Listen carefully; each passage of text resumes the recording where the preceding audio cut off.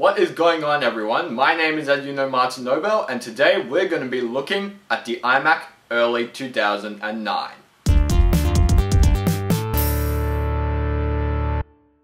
So, as you can see, this is the iMac early 2009. It is one of the last aluminum iMacs to have a back covering in the color black.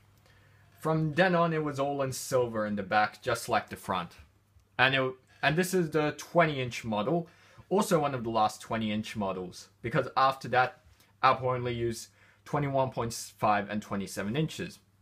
On the back, you got all your I.O., including only FireWire 800, as in because the earlier models had FireWire 800 and 400, but it was already outdated by then. You got four USB ports, a mini display port, a Kensington security slot, and audio in and out. So, now the moment you've all been waiting for, let's turn it on. So you can hear the super drive power up, and then you hear the startup chime. Now, it is going into Mac OS 10 Snow Leopard, which is 10.6.8. I got this computer in 09 as a replacement to an iMac which I got in early 2008 which kept on having random shutdowns. It was discovered to be a motherboard problem by Apple and they just gave me a new one. So that's a really quick startup. It runs Snow Leopard really well actually. So we're just going to go into Apple and about this Mac. So as you can see, it is running 10.6.8 with 3 gigs of DDR3 RAM. This is one of Apple's first DDR3 full 64-bit computers. It has a 2.66 GHz Intel Core 2 Duo.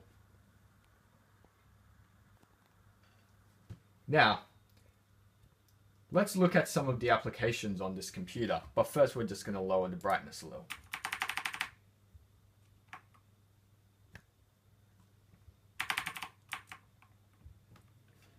Yeah, safe to say that the brightness is lowered enough. Now let's look at, at some of the applications. So this is not OS 10 Lion, so it does not have the launch pad. However, this is the reason why I only kept it at Snow Leopard is because if I upgrade to Lion, I could no longer run PowerPC apps. So over here, we got iLife 09. Let's open Keynote. I haven't registered anything yet. Register later because I'm not bothered to. You got the welcome, which I'll just close. And then you got all your iWork 09 choices. And my favorite I prefer is Gradient, actually. Gradient's the one they use in Apple's keynotes. So I could just, this is a test. So that's iWork 09. We got iPhoto, iMovie, and GarageBand. We're going to open iMovie. This version of iMovie I think is iMovie 11. Part of the iLife 11 package. Yep, this is 11. Now, one good thing about 11 is if you want a new project, you could actually set up a movie trailer on iMovie.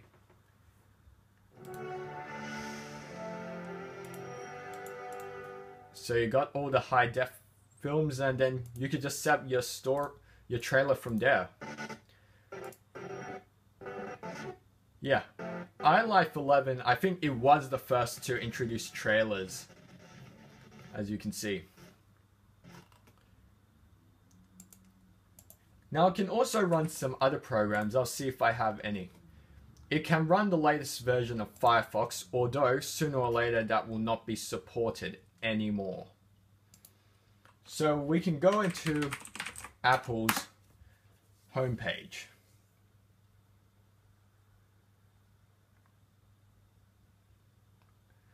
It is safe to say that this came with OS 10 Leopard 10.5.6, but its Leopard is 100% no longer supported. You can't use YouTube with it. On the other hand, you could still run Microsoft Office 2011 if you want.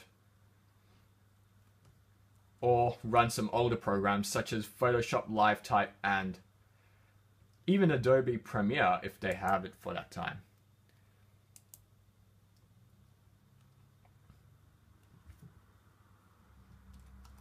So this is the website for the iMac and all the Apple.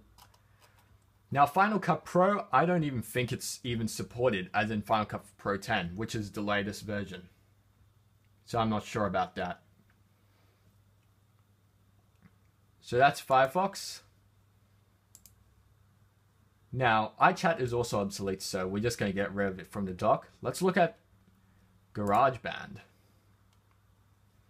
Now, this is also a GarageBand from iLife 11, which was one of the last ones before they moved on into the more modern kind in the look, which was on Logic Pro 10 and Final Cut Pro 10.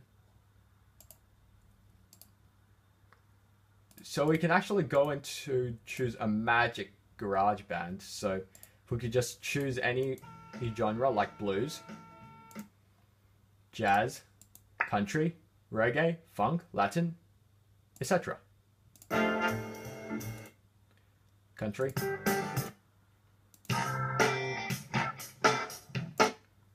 Yeah, and you also have a lesson store, which I think it's still supported till today.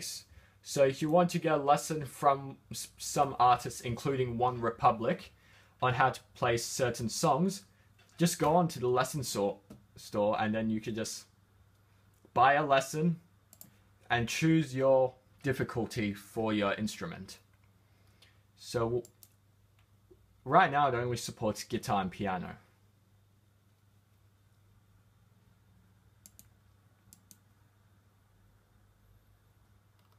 And it can also tell you how you could actually learn all of the piano, as in the basics. That's if you have a MIDI keyboard.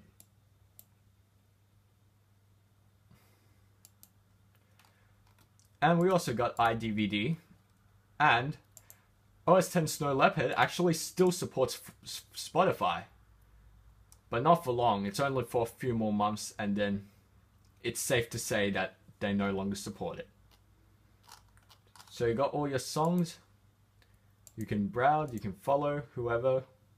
I just played a Nickelback song. And I think, yeah, that's Spotify. So there you have it. This is the iMac early 2009. If you have any questions about it, please leave it below. Thank you all for watching and see you all later.